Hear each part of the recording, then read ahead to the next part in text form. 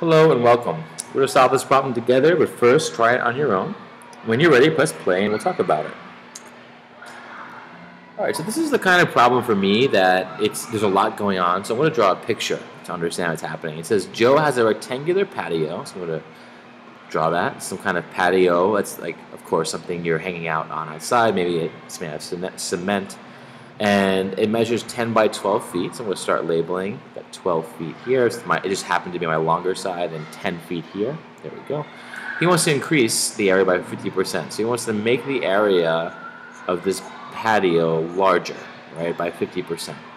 And he plans to increase each direction by equal lengths, x. So whatever we're increasing, let's say this dimension by, in terms of x, let's say we increase it 2 feet this way, right? The goal is also increase it two feet this way, right?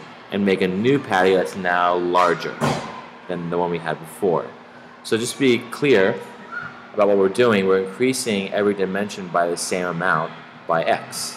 We're adding x on to both dimensions like this. So that means that our new patio is going to be 10 plus x in this direction, right? And then in the other direction, what's it going to be? Scroll down, it's going to be 12 plus x. So this is my setup and thinking, uh, and the way I'm thinking about it is using a picture. So these are the dimensions of the new shape. It's 10 plus x times 12 plus x. So we have an equation forming. I'm going to write it up here, so it's by the problem. So we're, I, I think so far it's going to be 10 plus x times 12 plus x. That's our new patio. So I'm going to cross these two out. Now, out of these two, uh, which one do we want to pick? Well, basically, the original area was 12 by 10, which is 120.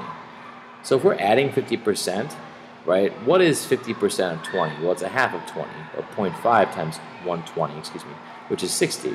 So the new patio is going to be 120 plus 60 feet, or 180 feet. So the dimensions that we add to 10 and to 12, when we multiply these new dimensions, our total area needs to be 180 feet.